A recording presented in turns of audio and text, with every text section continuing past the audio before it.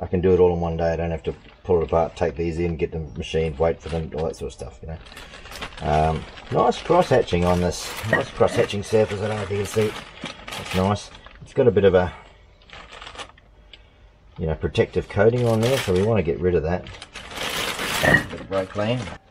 The width we've looked at it, looks the same. Diameter looks the same. Oh, that as well. You should always just make sure.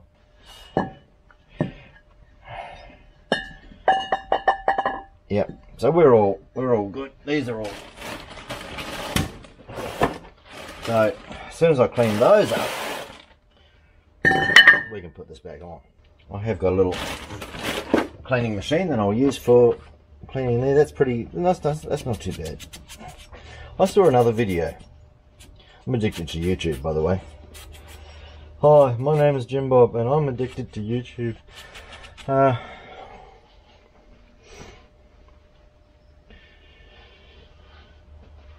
it's been 74 minutes since I've last looked at YouTube. And I've got all my next clips queued up. I don't know.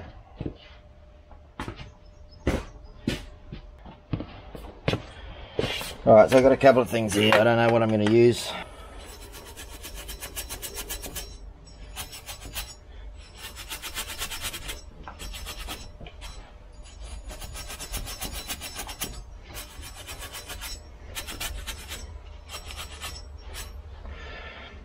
A little bit of Scotch-Brite here. Uh, no, that's that's disintegrating. I don't want that. I got this thing here. I don't know what this is. An industrial abrasive nylon cut brush. I'm not going to stick anything too much up in here. I just want to get a little bit cleaned out where the uh, where the pads are going to rub.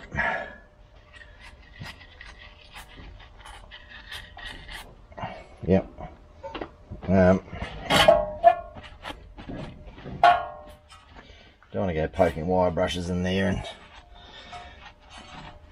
put a hole in the piston cups, uh, in the piston seals. They're not seals, they're just dust boots, but still, you don't want to do it.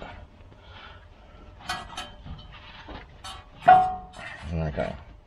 Okay. Let's go with this little puppy and see what it does. I bought this just to try cleaning up an aluminium cylinder head on a lawnmower and didn't really cut it.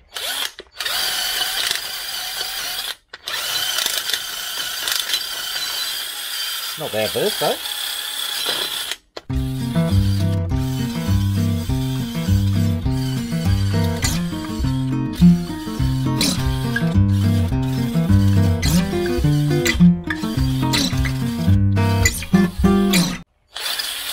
Not bad. I should normally put something down. I will put something down. Bit of cardboard. Just to protect me floor a little bit. Now I should really put glasses on for this, but I'm not going to. Oh no, I've got glasses just there. Just do it. Just do it. Put the glasses on. Mate. So just so you know, I put safety glasses on now. You feel better about that now?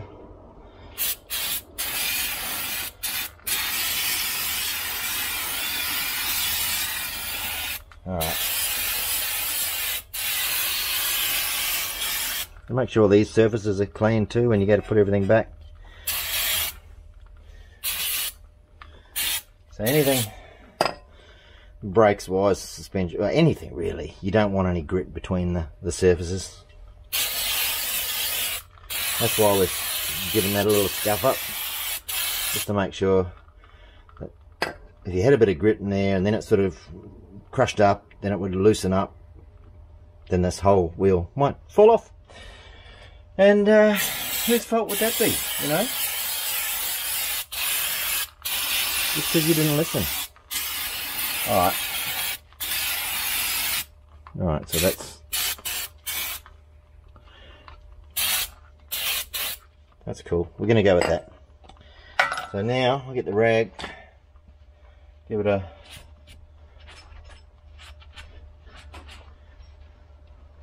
bit of a wash off.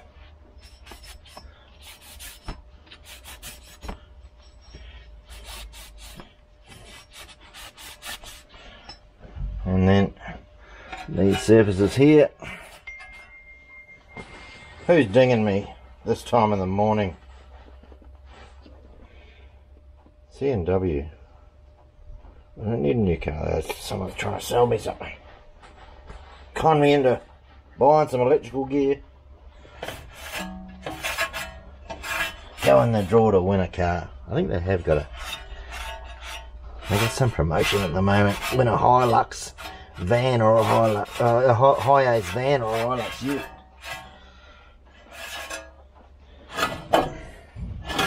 Not a bad promotion, I suppose, is it? Alright. So I'm good with that. Now, what they did show on one of the videos, and I've never done this before, some fella put some stuff on here. Now, I wouldn't want that flying out. There's actually a workshop in Mackay that did it. There's a, there's a, a sponsored Bendix video with some bloke and uh,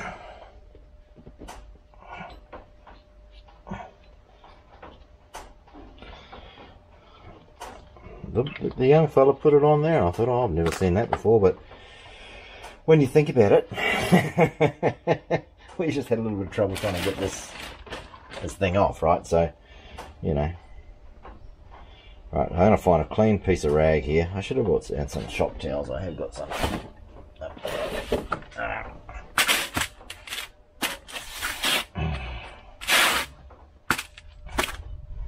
Right, let's get this. Wipe all this stuff off.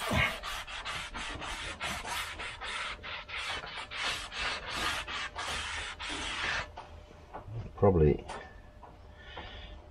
find another clean part. Hit it again.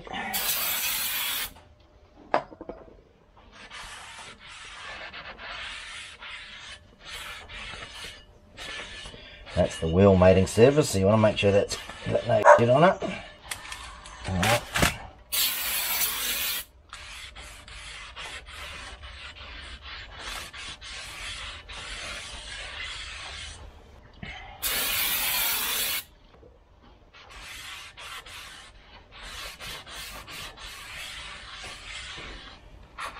On the inside surface here, make sure that's clean.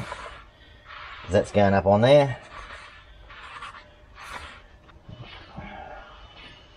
Now, with my clean hands, let's just chuck them on about uh, uh, there. Right, it's not going to hold there. Let me get a lug nut. It's not the real name for them. Over here in Australia, we call them wheel nuts. Lug nuts. You're a lug nut. Um, so let's see if we can get that on all the way. I don't know if we will.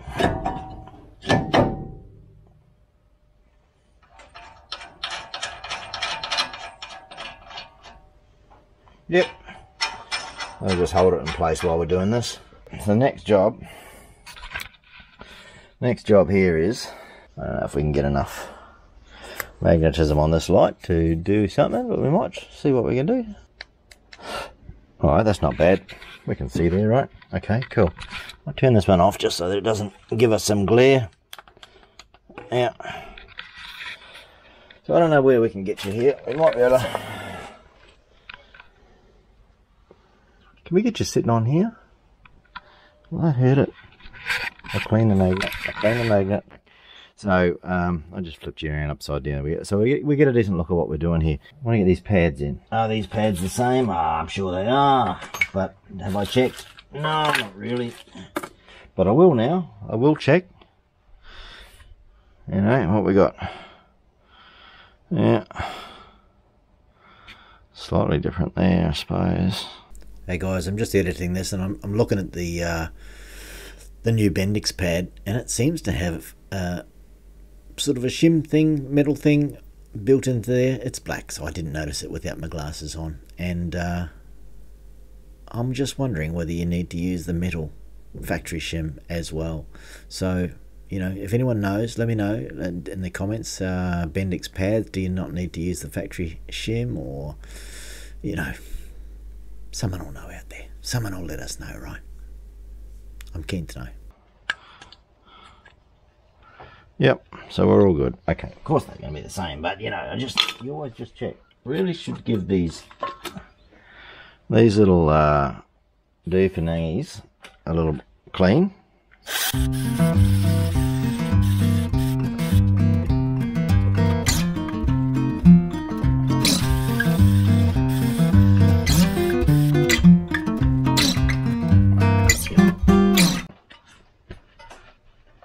Make sure those surfaces are good. So I'm going to have to get this out before I do too much work on there. I'll put this one down. Uh, I'll do this side first. I think I'll just stick with this. I, th I think I'll stick with this one. I'll stick a little bit on here. Alright. Stick a little bit on there. Because that's going to come in contact. There's other contact point here.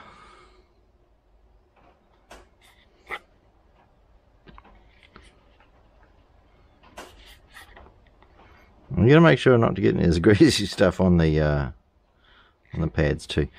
And then I would say on here, you probably don't need too much on here. Let's just uh, uh, uh, uh, uh, uh, uh. then we're gonna, without touching the brake pads, stick this on here.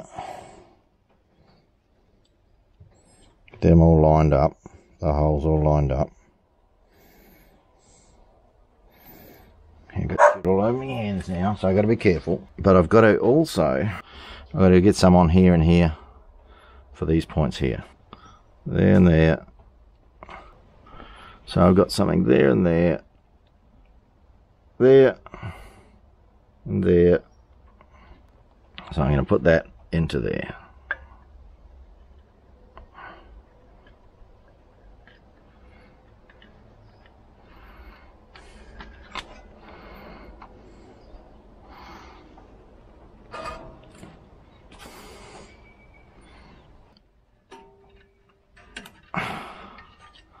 Bit of smudgy stuff.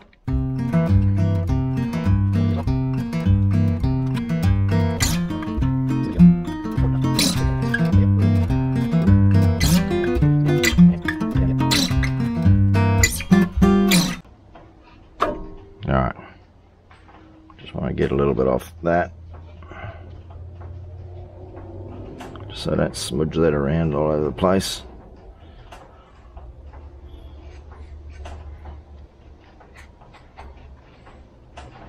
Don't really want grease anywhere other than where it's supposed to be. Around these brakes. Clean fingers. Yeah, make sure that that's all back. It looks like it's looks like it's good. Give these a little little clean. Now this is a contact point too.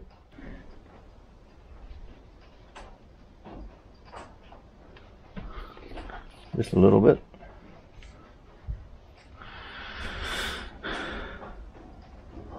Careful there. I'm not going to have enough there, but what I might do is smear a little bit just as it goes in. That'll go into here, over there. Push this through. Get me hole. There's a hole there, so I'll get me. I'll get me hole uh, roughly lined up for where I want it to be. That needs to come up a little bit. Come on. There we go.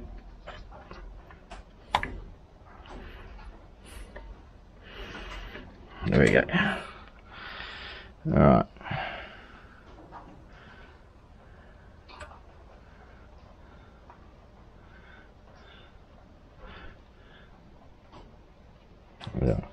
Put a little bit on here now.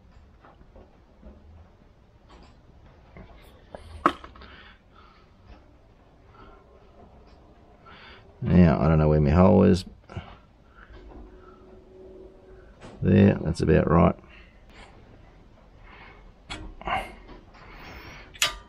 Okay. Wipe off what we don't need.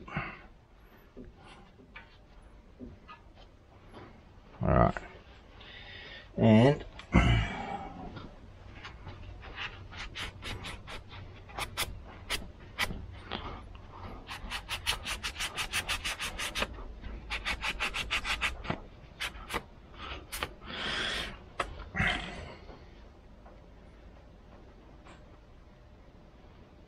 So I'll put that in that one. Where's hole? She to be about there. Oh, get back there, get back.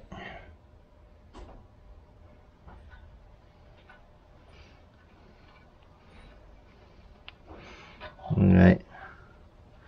Hole, where are you? Where are you, hole? There, okay. Be about right.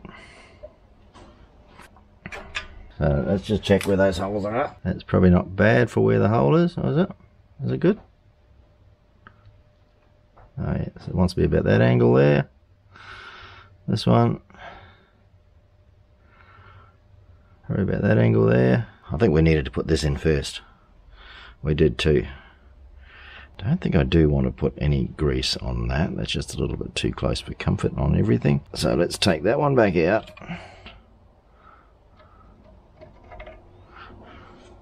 Get this back in.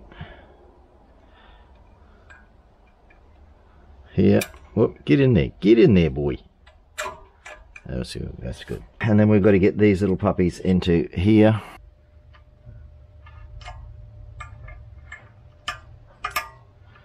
All right.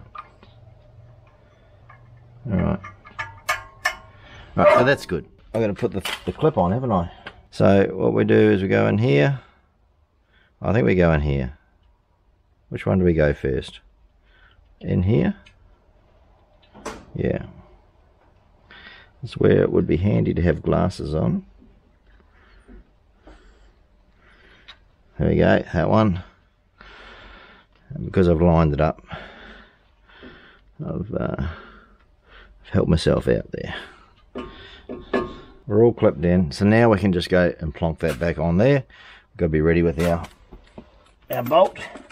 What I'm going to do, I'm going to chuck a little bit of uh, anti-seize on uh, on each of these bolts. Always a good thing. Get a bit of, I don't know what I've got here. This is free from someone else. Oh, it's the good stuff. Anti-seize.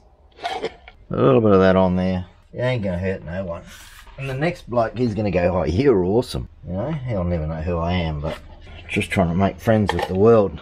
Okay, so this is the one I want. Oh, have I got enough? Have I got enough? Did I push it back enough?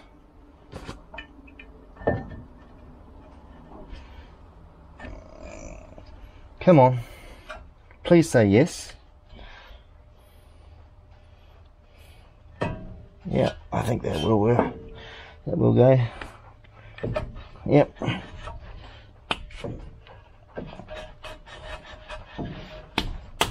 Come on. You do really have to get it all the way back into the pistons to, uh, to make that work. There we go. We're in. We're in.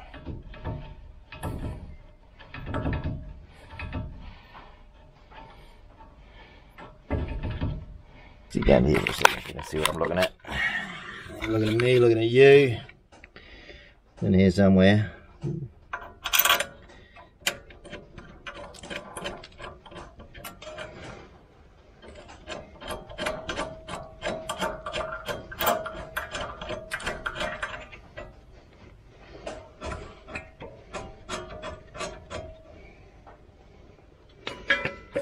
Mr. 17. Come in, Mr. 17.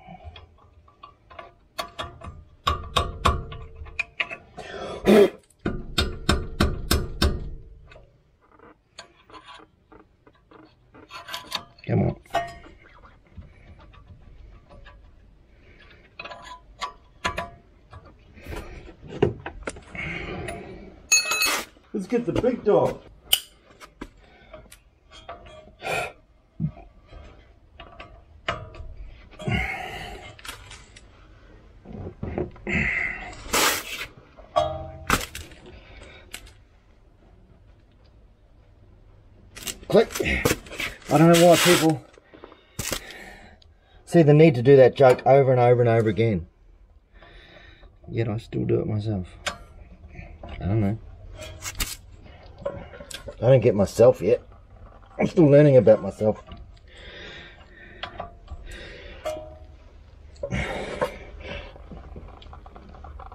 Okay.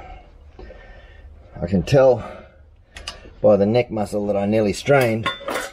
It's tight enough. So we're good. Got new disc pads in. That's what it looks like with new disc pads. Uh, that's good. New rotor. That's good. Let's um. Let's go. Whoop. Nearly fell there, didn't you? Hold on there, eh? Hold on. Uh, just gonna go and chuck a little bit of hoopty goopty on here.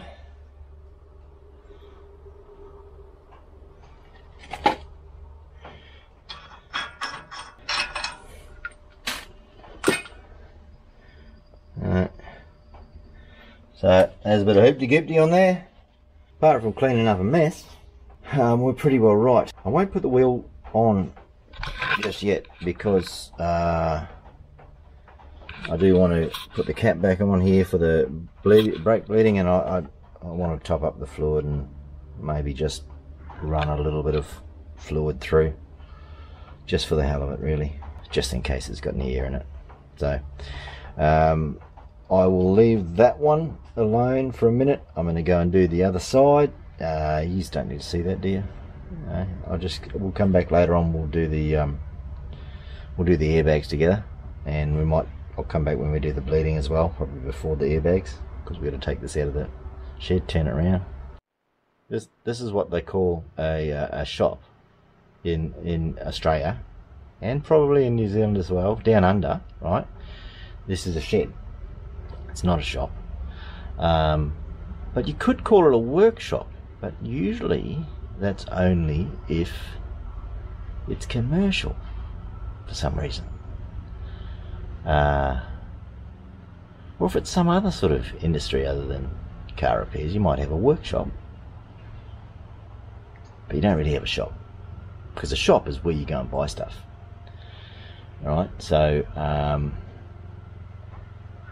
if we're going to go down in the shops, we're going to go down and buy something. We might just go down to a corner store and buy some lollies. Do you know what that is? Sweeties? Do you? Yeah. It's all different, isn't it? So um, this this is a shed. Okay, and uh, story's going nowhere. All right, I'm going to get in here and do some stuff, and uh, that light's that light's coming handy. I'm waiting for a good one to come. I've, I've got another one coming, a Braun one. No, no, names, no names. But it swivels this way, and it's metal, and it might have a bit of magnet in this. These were cheap as, cheap as chips, but that's all right. I quite like it. Um, anyway, let's get round to the other side, get this show on the road, and uh, I'll come back to you in a minute. Alright guys, the second side's done now. Got everything all done. All we need to do is just make sure we've a little final bleed of the brakes. I mean, I need a helper for that. I mean, I could do it with me, myself with that sort of gear in a jar and all that sort of stuff. You could do it that way, you know, but uh, sometimes it's nice to ask for help. See if you can get any. so yeah, we we're all we got all our uh, little bits of that brake lubricant stuff for the uh, all the points where the brake pads rub on the caliper and where everything slides.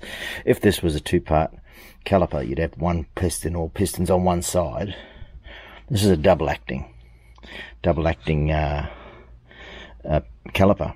So uh, quite often the single acting ones, you just have one piston or two pistons on one side and the other side would sort of float and it would have all these slides and all of those would have to be lubricated up um, it's quite common for them to jam. I know Municipal Patrol ones up the top there, they always used to sort of seize up and well, as long as you're using stuff, it's fine, you know, but uh, you, would put some of that special grease in the slides as well. And they have little bellows in there to stop, you know, stop dust and crap getting in there, but uh, it's quite common for those to lock up and then, you know, one of the pads locked on or not working or something like that, you know, so anyway, this is the good stuff, you know, this is, this is pretty flash, pretty flash sort of, uh, brakes, you know, in, in the old days, or even now, um, people would, you know, put on some decent calipers, Brembos or whatever, and that'd be something like this, you know, that'd be something like big pistons, double acting, twin, you know, so this is a quad piston sort of deal, uh, double acting sort of thing. So that, um, uh, in, in a way, there's a lot less moving parts, except, you know, you got to make sure this, the pistons can slide in there. You know, if you if you're redoing, if you if you're servicing the calipers, you would you'd be pulling out those pistons and making sure they were all clean and putting new dust caps on and maybe a little bit of lubricant in the uh, in those those caliper uh, those pistons, um, stuff like that maybe. So. Um, yeah, that's about it. I've got a little bit of um, a little bit of anti-seize on the on the wheel nuts, you know, proper job, mate. This is looking pretty nice in here, eh? You know, someone I don't know whether the old boy's done this or whether when he took it in for detailing, he and got the got the whole thing detailed. So they might have done that. They might have done all that. So um, it's looking nice underneath. I think he did this himself actually. This bit here. So yeah, looking very nice. I think we need a little bit of uh, battery uh, battery terminal protector on there. I might uh, might look at that. Might look at that. Uh, yes, I will.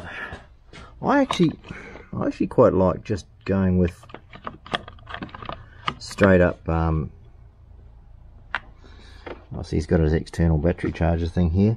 No, I actually like going straight with uh, the old um, Vaseline. Um, but I've got some of that spray here. Oh, he's got a separate filter in there. Someone's put this. Yeah. The additional filter. Good and bad. Good and bad. You know.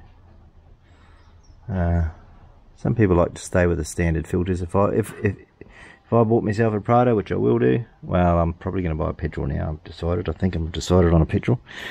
Um, I think I, if I did get a diesel though, I would leave it with the standard filtration. I wouldn't put anything extra because they do have some issues. If you do get it wrong, sometimes you cause some fuel starvation issues. You know, so you're better off just making sure you put decent fuel in it.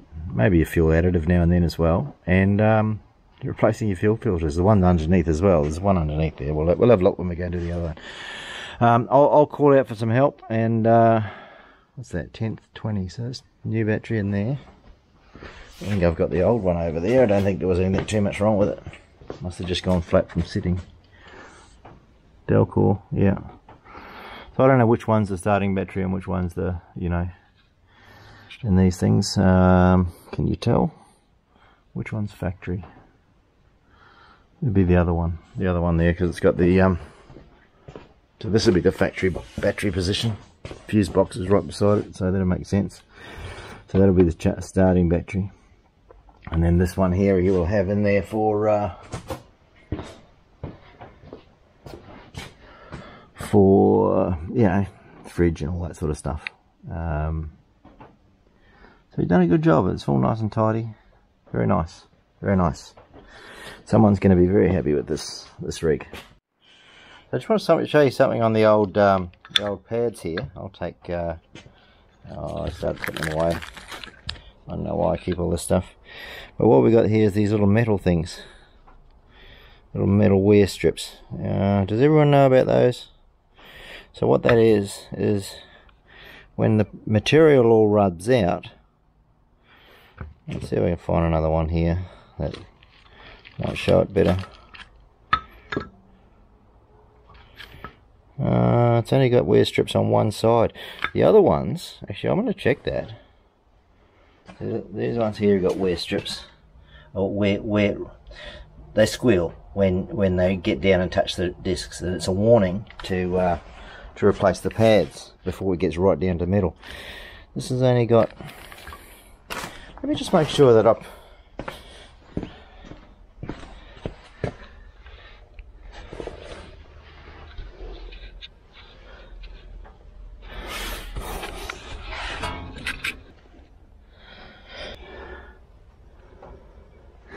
I sort of want to have a look at that and see if, uh, see where the wear strips are.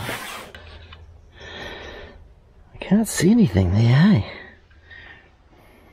I can't see anything there. That could be a rookie mistake. If there's if there's only wear strips on two of them, I needed to put one on each disc. just hang fire here. We'll have a look. Quickly pull this out.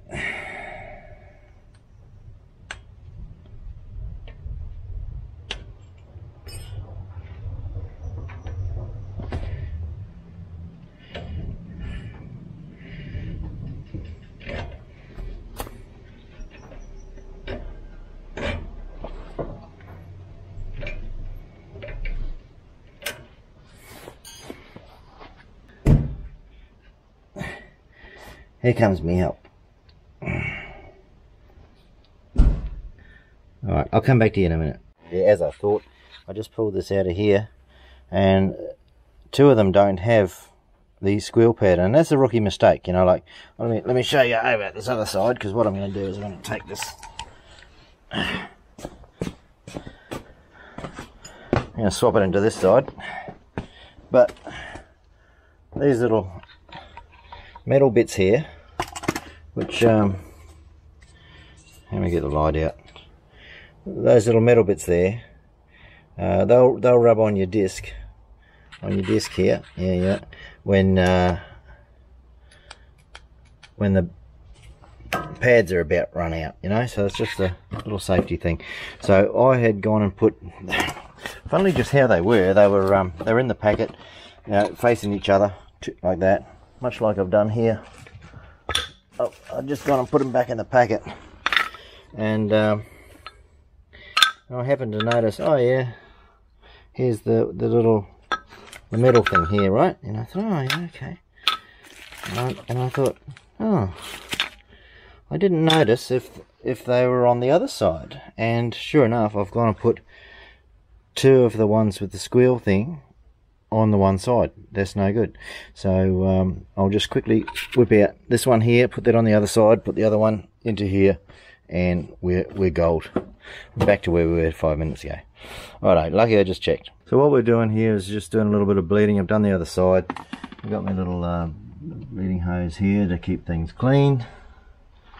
Let me 10 mil spanner. Hang on. Put a cab on backwards so I don't bump you. Alright. JB's in the car. Doing the brake bleeding part. Alright. So. Down slowly. Up. Down. Oh, hang up. Down slowly. Down. Up. Does it feel like I've got a pedal there? Yeah. a little bit, but not yeah. resistance. Yeah, it's probably because the, the, the car's not on the brake booster and stuff. So um, I'll do one more. There's no air coming out, so that's the main thing. So down slowly. Down. Up. Okay, so I reckon we're good. There's no air in there.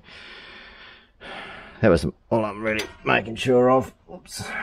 Oops. Uh, making a mess little oopsie. Put a little protectant cap back on there. And apart from putting the wheels on and putting it down on the ground, we are done. Right, so that's replacing the rotors and the brake pads. Lubing them up right. Checking the brake bleeding only because we did that funky thing where instead of pushing it back and letting all the fluid go back in the reservoir and possibly over uh, over bubble over the top um, we've gone and bled it out. That's something that I wouldn't normally have done but because some bloke said that there's ports in these modern master cylinders and, and ABS brakes I thought oh okay you know I'm willing to learn something. I'm willing to learn something new. I don't need to know everything. Alright we're good right? So we're done. Jim Bob out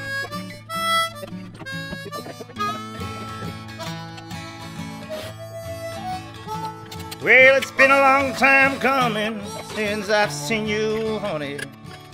Come on, nestle in my arms. It's a full moon. I've been waiting long time coming. Where are you, my baby blue? Baby blue.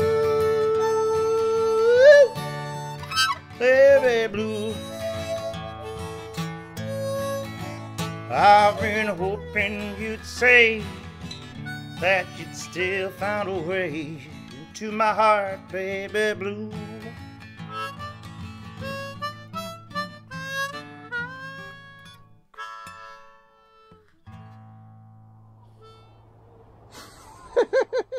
Yabba dabba doo.